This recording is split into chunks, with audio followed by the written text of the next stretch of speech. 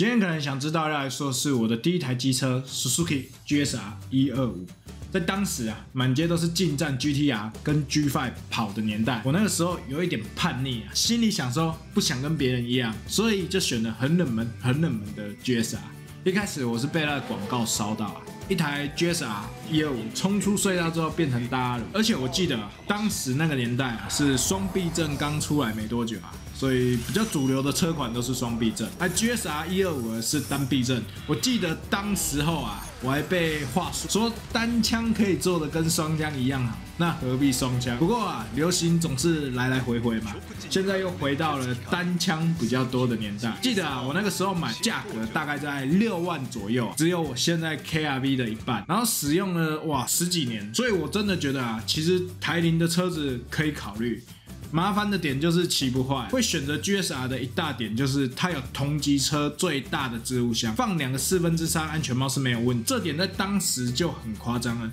拿来现在看更是夸张。现在的旗舰车款呢，每一个都在比车厢小的，我也不知道在比什么意思。而且啊，其实台铃那个时候啊。还蛮用心的，我记得会定期举办北中南大会师，所以我小弟啊就参加过北部的大会师，而且还抽中两个安全帽，所以我也不知道自己怎么带这么多安全帽回家。至于后面呢，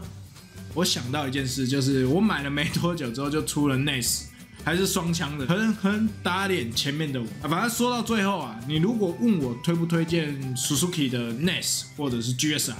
就算在此时此刻，我还是很推荐你当一个买菜车或者是上下班通勤车都很适合。车厢大，而且车子也不容易坏，就是简单好骑。说了那么多啊，其实这一台车还是有缺点的。如果你是喜欢热血超价，或者是喜欢跑山，这台车啊明显动力不足，马力也不是特别强，改装的空间呢也没有比其他的热门车种，像是进站啊，加上这一台车的倾角也不是算特别大。你只要动作大一点，就是磨侧裙，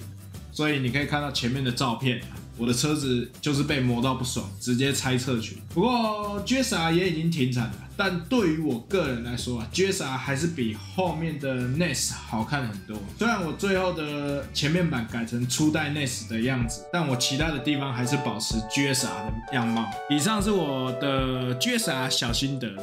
也很开心它陪我这么久。好了，之后再来说说其他机车的故事。好了，我们的影片就差不多到这了，下一部影片见喽，拜拜。